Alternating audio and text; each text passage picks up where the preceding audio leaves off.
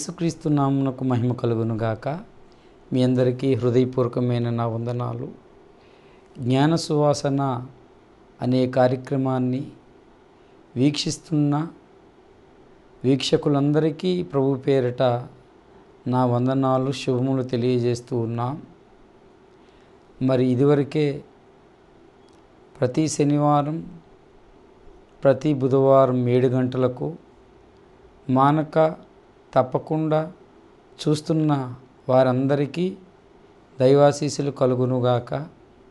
మర్చిపోకండి ఈ జ్ఞాన సువాసన అనే కార్యక్రమం మీకు దీవెనకరంగా ఉంటే లైక్ చేయండి షేర్ చేయండి సబ్స్క్రైబ్ చేయండి. దేవుని పరిశుద్ధ గ్రంథములో వాక్యం చదువుకొని ప్రార్థన చేసుకొని వాక్య సందేశం కొరకై దేవుని దగ్గర కోరుకుందాం దేవుని అడుగుదాం మనం. యోహాను సువార్త పదహారవ అధ్యాయం పదమూడు పద్నాలుగు వచనాలను చదువుతున్నాను గమనించండి.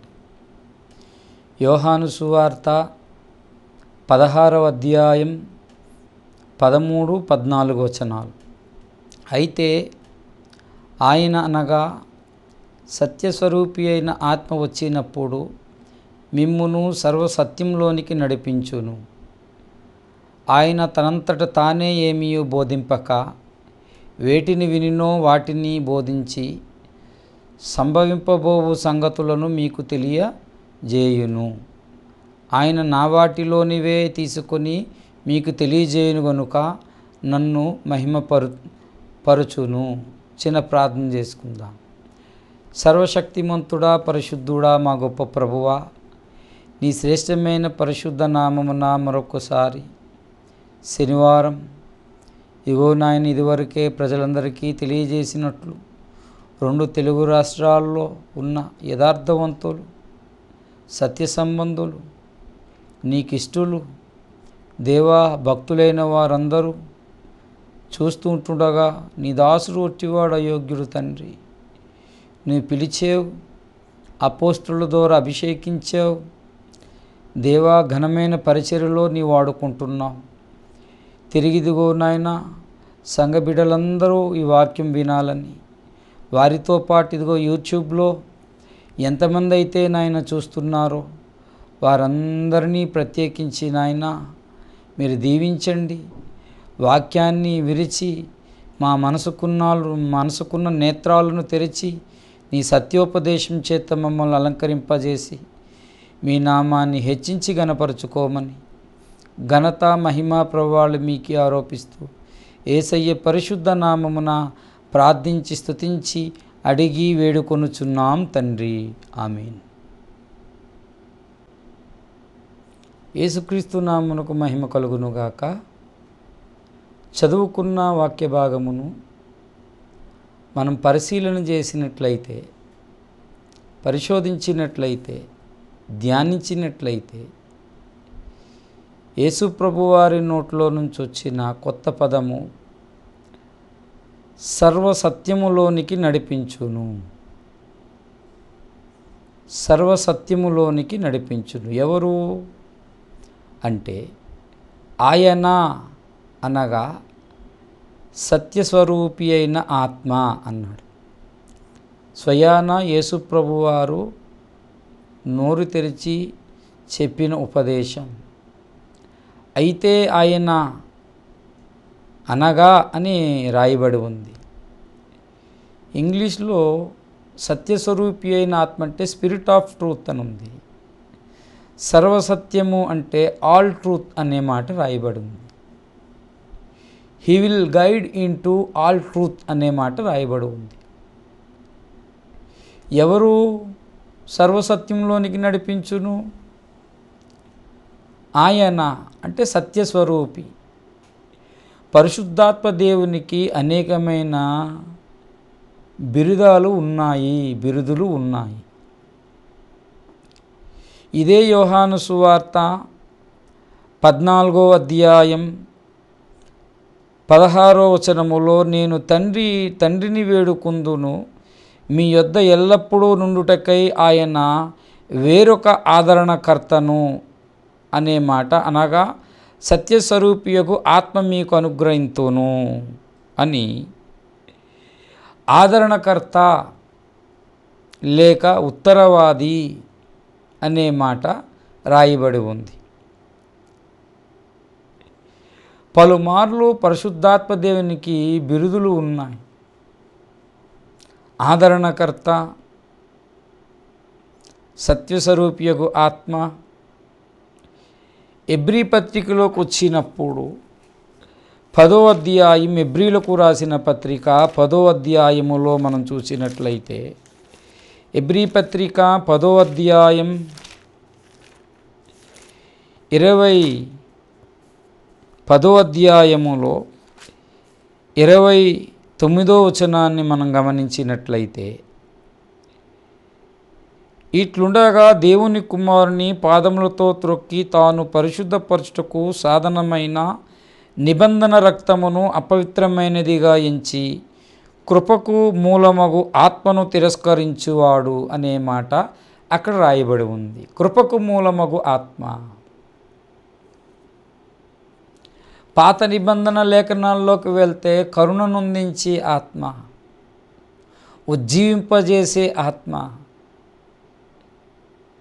ఇలాగ అనేకమైన విషయాలు పరిశుద్ధాత్మ దేవుని గురించి పరిశుద్ధ గ్రంథములో రాయబడి ఉన్నాయి.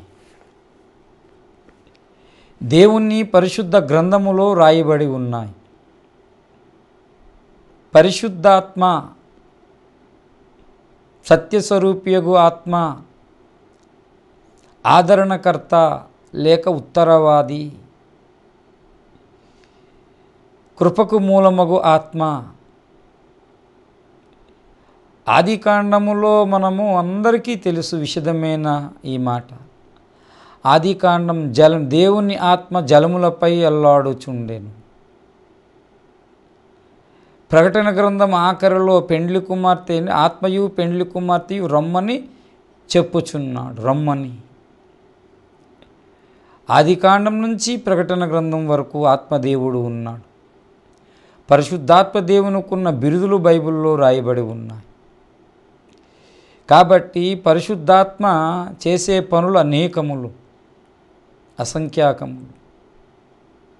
కానీ యేసుప్రభు వారు యోహాను సువార్త పదహారు పదమూడులో అయితే ఆయన అనగా అనే మాట సత్యస్వరూపియకు ఆత్మ చేసే పనులు పద్నాలుగులో ఏమో ఆదరిస్తాడు ఆదరణకర్త. యేసుప్రభు కూడా ఆదరిస్తాడు. వేరొక ఆదరణకర్త అనే మాట రాయబడు పద్నాలుగు కిందకు వచ్చినప్పుడు ఇరవై ఏడులో చూస్తే శాంతిని అనుగ్రహించి వెళ్ళుచున్నాను. నా శాంతిని అనుగ్రహించి వెళ్ళుచున్నాను. లోకమిచ్చినట్టుగా నేను ఇవ్వటలేదని చెప్పి ఆదరణకర్త అనే మాట ఇరవై ఆరులో ఉంది. నా నామమును పంపబోవు పరిశుద్ధాత్మ అనగా మీకు బోధించి నేను మీతో చెప్పిన సంగతులను జ్ఞాపకం చేస్తాడు. ఆత్మను గూర్చి రాయబడి ఉంది. పలుమార్లు ఈ మాటలు దేవుడు రాయించి పెట్టాడు. పదహారుకు వచ్చినప్పుడు ఆత్మ చేసే పని ఏమని రాయబడిందో చూడండి దయచేసి. ఎనిమిదో వచనం పదహారు ఎనిమిది. ఆయన వచ్చి పాపమును గూర్చి నీతిని గూర్చి తీర్పును గూర్చియు లోకమును ఒప్పుకొనజేయను. ఒప్పుకొన అంటే ఒప్పింపజేస్తాడు. ఆదరిస్తాడు. అన్నిటికంటే శ్రేష్టమైన మాట సర్వసత్యములోనికి మిమ్మును నడిపించును. సర్వసత్యములోనికి ఆయన నడిపించును. సర్వసత్యంలోనికి నడిపించుట. ఈ మాట బహు అరుదుగా పలుకుతారు ఈనాడు క్రైస్తవ సమాజములు. సర్వసత్యంలోని కంటే ఆల్ ట్రూత్ అనే మాట ఇంగ్లీష్లో రాయబడవు. సర్వసత్యములోనికి అంటే వాస్తవములోనికి నిజములోనికి అని అర్థం. పరిశుద్ధాత్మ వచ్చి అభిషేకించాడు. పరిశుద్ధాత్మ వరం పొంది భాషలు మాట్లాడారు మంచిది. ప్రవచించారు. పరిశుద్ధాత్మ శక్తితో బోధించారు. పరిశుద్ధాత్మ వలనే పరిశుద్ధాత్మ ఈనాడు సంఘాన్ని ఏసైకు ఇష్టమైన వధువు సంఘముగా ఆయన నిర్మాణం చేస్తూ ఉన్నాడు. అంతకుముందు నిర్మాణం జరగకముందు ఆయన ఏసయ్య కోరుకున్న కన్యకగా పరమగీతములో ఉన్న కన్యకగా సిద్ధపరచాలి అంటే ముందు అన్ని విషయాల్లో వాస్తవంలోనికి రావాలి. అందుకే పేతురు అంటాడు అపోస్తుల కార్యం ఐదో అధ్యాయములు అనుకుంటాను. మేమును తనకు విధేయులేని వారందరికీ పరిశుద్ధాత్మను అనుగ్రహించాడని పరిశుద్ధాత్మ దేవుని విధేయత చూపిస్తే నువ్వు సర్వసత్యంలోనికి రాగలుగుతావు. నీతిని గూర్చి తీర్పును గూర్చి పాపాన్ని గూర్చి ఒప్పింపజేస్తాడు. ఆయన కోసం తెలుసుకోవాలి. ఎందుకంటే తెలుసుకోకుండా పొందలేము మనం. పొందిన తర్వాత ఆయన ఏ కార్యాలైతే ఈ భూమి మీద చేయాలనుకున్నాడు అన్ని కార్యాలు నీ ద్వారా దేవుడు జరిగిస్తాడు. నిన్ను వాస్తవంలోనికి నడిపిస్తాడు. వాస్తవంలోనికి నడిపించుట నిజములోనికి నడిపించుట అన్ని విషయాల్లో ఇంకా నువ్వు భ్రమలో బ్రతకవు అందుకే పలుమార్లు బైబిల్ గ్రంథములో ఈ మాటలు రాయబడి ఉన్నాయి. ఏమని రాయబడి ఉన్నాయి? అంటే యహోశివా గ్రంథము యహోశివా గ్రంథము రెండవ అధ్యాయంకి వెళ్తే పాత నిబంధన విభాగములో యహోశివా గ్రంథము రెండవ అధ్యాయము దయచేసి పన్నెండో వచనములో వేగులవారు రాహోబనే వేష ఇంటకు వచ్చినప్పుడు ఆమెకు వీళ్ళు ఉపకారం చేశారు. దయచేసి ఈమె వాళ్ళకు ఉపకారం చేసింది. తిరిగి వీళ్ళకి ఉపకారం చేయమని అడుగుతుంది. ఆ సందర్భంలో మరి రెండో అధ్యాయం పన్నెండులో నేను మీకు ఉపకారం చేసి తిని గనుక మీరును నా తండ్రి ఇంటికి ఉపకారం చేసి నాకు నిజమైన ఆనవాళ్ళు ఇచ్చి అనే మాట రాయబడి ఉంది. నిజమైన ఆనవాళ్ళు నిజమైన ఆనవాళ్ళు పద్దెనిమిదో వచనములో వాళ్ళు చెప్పారు. ఏమన్నారు? పద్దెనిమిదిలో అన్నారు నీవు మమ్మను దింపితివి కిటికీకి ఎర్రని దారం కట్టి నీ తండ్రిని నీ తల్లిని నీ అన్నదమ్ములను నీ తండ్రి ఇంటి వారిని నీ ఇంట చేర్చుకొనము. వేగుల వారిని వేషి అడిగింది రాహోబ్ అనే వేషి అడిగింది రాహోబు దయచేసి ఈ విషయాన్ని మనం గమనించాలి. రాహోబు అనే ఆమె ఈమె ఇంట్లో చేర్చుకున్నది. దయచేసి ఈ విషయాన్ని మనం గమనించాలి. పరిశీలన చేయాలి. రెండో అధ్యాయములో వీళ్ళు నూను కుమార్ మొదటి వచ్చి నూను కుమారుడైన యహోశువ వేగుల వారిని ఇద్దరిని మనుషులను పిలిపించి ఎరుకో దేశానికి వెళ్ళమన్నట్టు చూశారు. వారు రాహోబునొక వేశ్య ఇంట చేరి అక్కడ దిగగా అనే మాట రాయబడి ఉంది.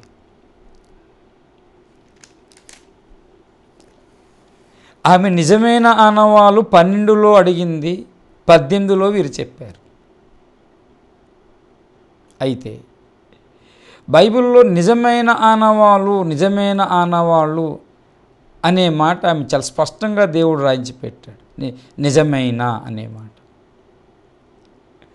లూకాసువార్త పదహారవ అధ్యాయంకి వచ్చినప్పుడు లూకాసువార్త పదహారవ అధ్యాయం దయచేసి చూడండి. పదహారవ అధ్యాయములో చూస్తే అందులో లూకాసు వార్తలో చాలా స్పష్టంగా ఇక్కడ కూడా ఏసయ్య పలికిన మాటలు పదకొండులో లూకాసు వార్త పదహారు పదకొండులో చూస్తే కాబట్టి మీరు అన్యాయపు సిరి విషయములో నమ్మకంగా ఉండని ఎడల సత్యమైన ధనము ఎవరు మీ వశము చేయును? అన్యాయపు సిరి సత్యమైన ధనము అన్నాడు. సత్యమైన ధనానికి ఆపోజిట్ అబద్ధమైన ధనం. ఈ లోకములో మనం వాడుతున్న ఈ నోట్లు దేవుని దృష్టిలో అది వాస్తవమైన ధనము కాదు. నిజమైన ధనము కాదు. కిందన మాట్లాడాడు నిజం సత్యధనము అనగా అది పరలోకంలో మనం పొందుకోగలుగుతాం. అంటే నిజమైన ధనం అనేది ఒకటి ఉంది. రానున్న దినాలు ఈ నోట్లు కూడా ఉండవు మనకి. ఇప్పుడు ఏటీఎం కార్డు లాగా ఎలక్ట్రానిక్ మనీ వస్తుంది. అంతా మనం కష్టపడిన ఏం చేసినా ఎలక్ట్రానిక్ మనీ అందులో డిపాజిట్ అవుతుంది. కానీ నిజమైన ధనం పరలోకములో ఆల్రెడీ మతేసు వార్తలో అన్నాడు. నీ ధనం ఎక్కడుండును ఏమన్నాడు? నీ హృదయం ఎక్కడుండును నీ ధనం అక్కడుండును. పరలోకములో ధనాన్ని సమకూర్చండి. పరలోకములో ఉన్న ధనము సత్యధనము సత్యధనము. వింటున్నారా? అంతేకాదు ఇంకా మనందరికీ సుపరిచితమైన లేఖన భాగం యోహాను సువార్త పదిహేను ఒకటిలో నేను నిజమైన ద్రాక్షావల్లిని అన్నాడు. తీగలు. నిజమైన ద్రాక్షావల్లి అంటే ఏసయ్య నిజమైన ద్రాక్షావల్లి యేసులో అంటుకట్టుబడితేనే మనం ఫలిస్తాము. యోహాను సువార్త ఎనిమిదో అధ్యాయం. యోహాను సువార్త ఎనిమిదో అధ్యాయం. మనం జాగ్రత్తగా చూస్తే ఎనిమిదో అధ్యాయములో యు- తాను నమ్మిన యూదులతో మాట్లాడతాడు ఎనిమిదో అధ్యాయములో ముప్పై ఒకటి అనుకుంటాను నేను. కాబట్టి యేసు తాను నమ్మిన యూదులతో ముప్పై ఒకటి మీరు నా వాక్యమందు నిలిచిన వారైతే నిజముగా నాకు శిష్యులై ఉండి సత్యమును గ్రహించెదరు. ఇక్కడ నిజమైన శిష్యులు అనే మాట రాయబడు. నిజమైన శిష్యులు. నిజమైన ధనము సత్యధనము. రాహబ్ అనే ఆమె నిజమైన ఆనవాలు. నిజమైన ద్రాక్షావల్లి. మొదటి తిమోతి పత్రిక ఆరో అధ్యాయములు. మొదటి తిమోతి పత్రిక ఆరో అధ్యాయంలో కూడా కా- పౌలు తిమోతికు రాస్తూ మొదటి పత్రిక ఆరో అధ్యాయం పద్దెనిమిది పంతొమ్మిది వచనాలు కలిపి ఉన్నాయి చదువుతున్నాను. వారు వాస్తవమైన జీవమును సంపాదించుకొని నిమిత్తము అన్నాడు. రాబో కాలంలో మంచి పునాది తమ కొరకు వేసుకొనుచు అనే మాట రాయబడి ఉంది. వేసుకొని కొనుచు. ఇక్కడ వాస్తవమైన జీవము వాస్తవమైన జీవం వాస్తవమన్నా నిజమన్నా ఒకటే. వాస్తవమే. యహోశివ రెండు పన్నెండులో నిజమైన ఆనవాలు. యోహాను సువార్త పదిహేను ఒకటిలో నిజమైన ద్రాక్షావల్లి. ఎనిమిది ముప్పై ఒకటిలో నిజమైన శిష్యులు. ఇక్కడ మొదటి తిమోతి చూడు ఆరు పద్దెనిమిది వాస్తవమైన జీవము. వాస్తవమైన జీవం. అంతేకాదు ఇంకా బైబిల్లో మనం పరిశీలన చేస్తే బైబిల్లో మనం పరిశోధిస్తే ఏమని రాయబడి ఉందో చూడండి దయచేసి. ఇంకా నూట నలభై ఐదవ కీర్తన పద్దెనిమిదవ వచనాన్ని చూస్తే నూట నలభై ఐదవ కీర్తన పద్దెనిమిదిలో తనకు మొరపెట్టు వారందరికీ తనకు నిజముగా మొరపెట్టు వారందరికీ యహోవా సమీపముగా ఉన్నాడు. ద్వితీయోపదేశకాండం నాలుగవ అధ్యాయం ఏడవ వచనములో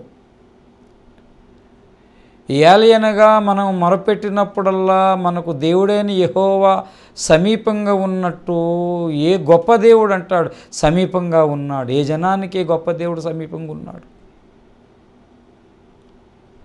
అక్కడ మొరపెట్టినప్పుడల్లా అనేది ఉంది.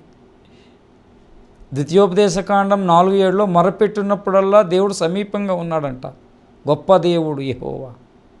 ఎక్కడేమో నూట నలభై ఐదో కీర్తన పద్దెనిమిదో వచ్చిన పద్దెనిమిదో చరణములో చూస్తే నిజముగా మొరపెట్టువారు నిజముగా మొరపెట్టువారందరికీ యహోవా నిజముగా మొరపెట్టువారు. నిజముగా మొర్రపెట్టుట అంటే అర్థం ఏమిటి? నిజమైన శిష్యులు అంటే అర్థం ఏమిటి?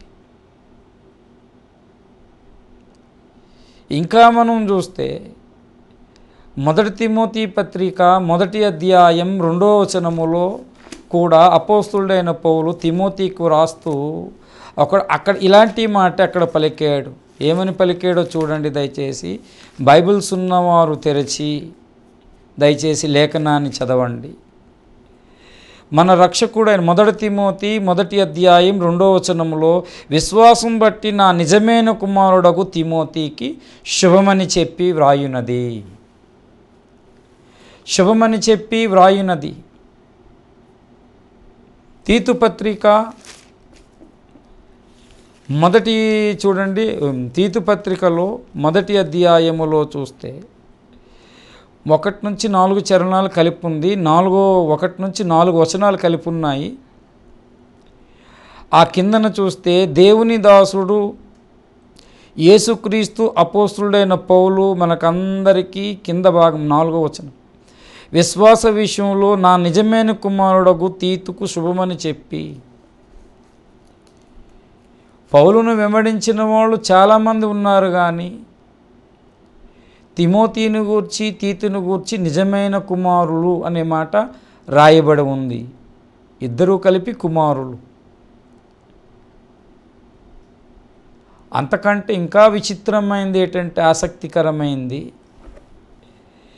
నూట పదహారో కీర్తన పదహారవ చరణములో చూస్తే నూట పదహారో కీర్తన పదహారో చరణం చదివి నేను మీకు వినిపిస్తాను చూడండి.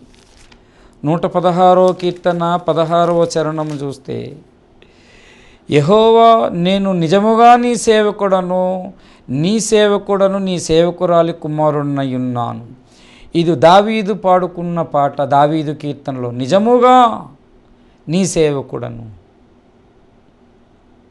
నిజముగా సేవకుడను. దేవుని పరిశుద్ధ గ్రంథములో ఈ మాటలు ఎందుకు రాయబడి ఉన్నాయి? యోహాను సువార్త పదహారో అధ్యాయం పదమూడో వచనములో చూస్తే అయితే ఆయన అనగా సత్యస్వరూపి అయిన ఆత్మ వచ్చినప్పుడు మిమ్మల్ని సర్వసత్యంలోనికి నడిపించును.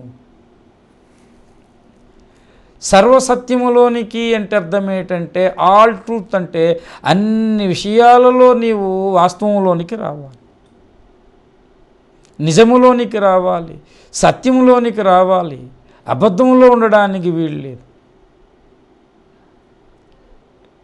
నాకు తెలిసి సర్వసత్య మహాసభలు అనేవి ఓఫిర్మినిసీస్ ఇంటర్నేషనల్లో అద్దంకి రంజిత్ తోఫిర్ గారే ఈ సభలు పెట్టారు. ఎక్కడా నాకు కనిపించలేదు చాలా సభలు చూసాం. అద్భుత స్వస్థత సభలు విమోచన సభలు పరిశుద్ధాత్మ అభిషేకం. ఇలాగా అనేక రకమైన సభలు ఉన్నాయి కానీ సర్వసత్య మహాసభలు అనే మాట మొట్టమొదట నేను ఒక పోస్టర్ చూసాను అందులో కిందన ఎవరు వక్త వాక్యోపదేశం అంటే అద్దంకి రంజిత్ తోఫిర్ గారు. ఫస్ట్ టైం ఆయన పోస్టర్ నేను చూశాను. సర్వసత్య మహాసభలు. బైబిల్లో యోహాను సువార్త పదహారు పదమూడులో చదివాను. సర్వసత్యం అని కానీ పోస్టర్ చూశాను. ఎక్కడ చూసినా మరి ఆ టైటిల్ మీద ఎక్కడ నాకు కనిపించలేదు. సర్వసత్య మహాసభలు అని. సర్వసత్యం అంటే ఏంటిని పరిశోధన చేస్తే దైవజనుడు చెప్పిన మాటలు ఏమిటంటే పరిశుద్ధాత్మదేవుడు దిగి వచ్చాడు. పాత నిబంధనలో ఒక వ్యక్తి తర్వాత ఒక వ్యక్తి ఒక వ్యక్తి తర్వాత ఒక వ్యక్తిని వాడుకున్నాడు. ఒక్క సందర్భంలో మోషే కొండ మీద దిగి వచ్చి యహో యహోశ్వాతో మాట్లాడుతూ డెబ్బై మంది పెద్దల మీదకి వచ్చినట్టు ఒక సందర్భంలో మనం చూస్తాం. ఆ తర్వాత ఒకరి తర్వాత ఒకరిని పరిశుద్ధాత్మ దేవుడు తన వశం చేసి వాడుకున్నాడు. కానీ కొత్త నిబంధనకు వచ్చినప్పుడు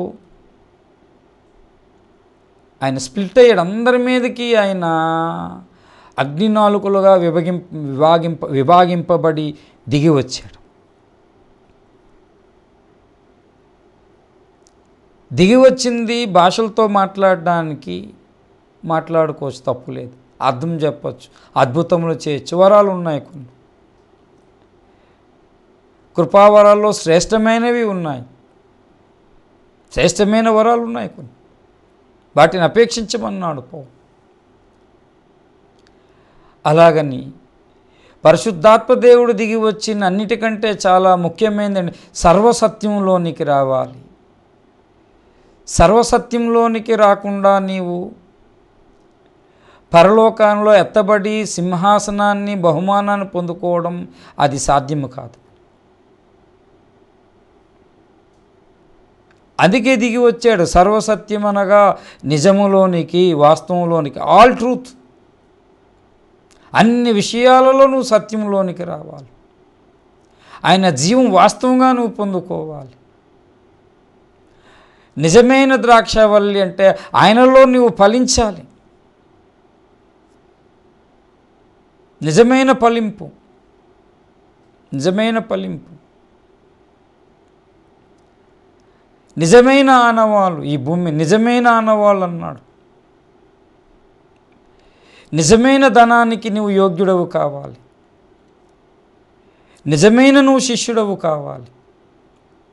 నిజముగా నువ్వు ఫలించాలి.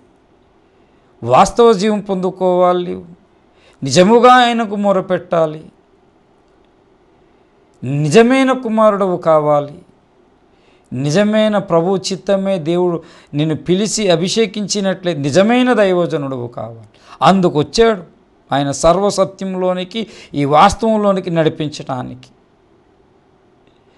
చాలామంది చాలామంది నాడు అబద్ధములో బ్రతుకుతున్నారు. దైవజనుడు చెప్పిన ఒక కథ నాకు జ్ఞాపకం వస్తుంది. ఒక నిరుద్యోగి ఉద్యోగం లేదు. ఒక జూకి వెళ్ళాడు మరి ఉద్యోగం లేదు కాబట్టి ఆ జూకి వెళ్ళాడంట అక్కడున్న జూకి. ఆ జూలో కెళ్ళి విచారంగా కూర్చున్నాడు అక్కడ. ఆ జూ యజమాని అతన్ని గమనించాడు. ఇతడేటి అందరూ వెళ్తున్నారు? ఎందుకంటే అందరూ లోనకి టికెట్ తీసుకొని లోనకి వెళ్ళి అన్నీ చూస్తున్నారు కానీ ఇతడు మటుకు ఒక విచారం కూర్చున్నాడు. యజమాని అంతా గమనిస్తున్నాడు అతన్ని. ఉద్యోగం లేదు అతనికి. అప్పుడు వెళ్ళి అడిగాడు అతని దగ్గరికి వెళ్ళి. చాలా సమయం అయిన అయిన తర్వాత అడిగాడు వెళ్ళి. ఏం బాబు ఇంత విచారంగా కూర్చున్నావు? ఏంటి పరిస్థితి? ఇక్కడ కూర్చున్నావు ఏంటంటే అయ్యా మరి నాకు సరైన ఉద్యోగం లేదు. మీరేమైనా ఉద్యోగం ఇస్తారా నాకని అడిగాడంట ఆ యువకుడు. మరి నా దగ్గర ఒక ఉద్యోగం ఉంది చేస్తావా నీవని? చేస్తాను చేస్తాను ఏంటా ఉద్యోగం అంటే ఏం లేదు. నా దగ్గర నల్ల నల్లగా ఉన్న చింపాంజీ ఉంది కదా చింపాంజీ డ్రెస్ ఇచ్చి నువ్వు ఎలుగుబంటి చింపాంజీ. ఎలుగుబంటి ఏమో పక్కన ఒక బోన్ ఉంటుంది ఎలుగుబంటి బోన్ పక్కన చింపాంజీ లాగా నీవు ఆ డ్రెస్ వేసుకొని గెంతాలని. అటుపక్క ఎలుగుబంటి బోన్ ఉంటుంది. ఇటుపక్కేమో సింహం బోన్ ఉంటుంది. మధ్యలో నీవు చింపాంజీ డ్రెస్ వేసుకొని గెంతాలి. మరి గెంతుతావా అని. "ఆ, చేస్తానండి ఆ డ్రెస్ వేసుకొని ఆ మధ్యలో గెంతుతూ ఉన్నాడు. రోజు రోజుకి వీడు పిచ్చి గెంతులు ఎక్కువైపోతున్నాయి. ఈ చింపాంజీని చూడడానికి అందరూ వస్తున్నారు.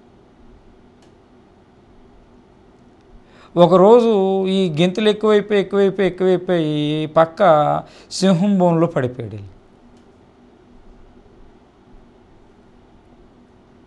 ఇంకా భయం పట్టుకుంది ఈ సింహం నన్ను తినేస్తుందని. ఏం చేయాలో అర్థం కాలేదు ఆయనకి. చాలా భయముతో ఉనికిపోతున్నాడు సింహం ఇతన్ని చూస్తుంది. నెమ్మదిగా సింహం దగ్గరికి వస్తే ఇంకా గజగజ వణికిపోతున్నాడు భయపడిపోతున్నాడు. అప్పుడు మెల్లని స్వరముతో సింహం మాట్లాడుతుంది. భయపడొద్దు నేను నీలాగే సింహం డ్రెస్ వేసుకున్నానని తీరా ఆరా తీస్తే ఆ జూ జూ అంతా కూడా ఏది ఒరిజినల్ జంతువు లేదు. అన్ని డూప్లికేటే. ఈ కథ ఎందుకు చెప్పానంటే ఈనాడు సంఘాల్లో కూడా ఒరిజినల్ సరుకు తక్కువ డూప్లికేట్ ఎక్కువ ఉంది. నిజముగా మొరపెట్టేవాళ్ళు లేరు. నిజమైన సేవకులు తక్కువ. వాస్తవ జీవం పొందుకున్న వాళ్ళు తక్కువ. నిజమైన శిష్యులు లేరు. నిజమైన కుమారులు ఎక్కడున్నారు? నిజమైన ఆనవాళ్ళు దేవుడు చూపిస్తే నిజమైన ఆనవాళ్ళు గుర్తుపడుతున్నారా?